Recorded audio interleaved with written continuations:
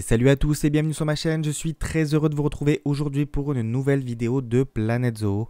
On revient pour un nouvel épisode du biodôme.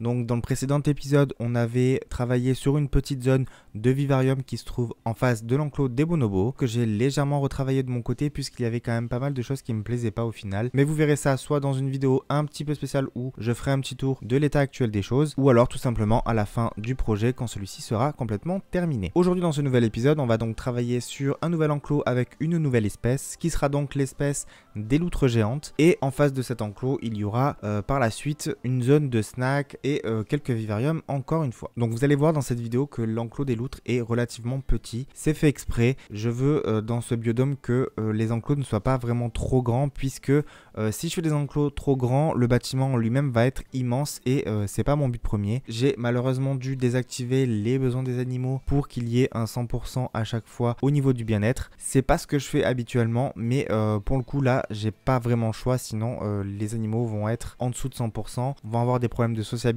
puisqu'ils n'auront pas assez d'espace et euh, ça c'est assez problématique. Je verrai par la suite si je peux pas leur ajouter un petit peu d'espace supplémentaire vers l'extérieur, des extérieurs non visibles par les visiteurs puisque le zoo sera complètement intérieur et euh, il n'y aura pas d'accès extérieur. Donc cette zone là sera faite en deux parties, une partie dans cette vidéo qui sera consacrée à l'enclos des loutres ainsi que de leur bassin. Et euh, une deuxième partie dans une prochaine vidéo qui sera consacrée donc à l'espace qui se trouve en face de cet enclos avec quelques vivariums une fois de plus et pourquoi pas une zone de snack euh, à ce niveau là. Il y aura aussi des toilettes et une sortie de secours vers l'extérieur. Je vais aussi travailler sur un petit espace euh, de gradin qui se trouvera au niveau du bassin des loutres. Voilà pour aujourd'hui. En tout cas, j'espère que cette nouvelle vidéo vous plaira. N'hésitez pas à liker, à commenter ou à partager comme vous le savez, ça fait toujours plaisir.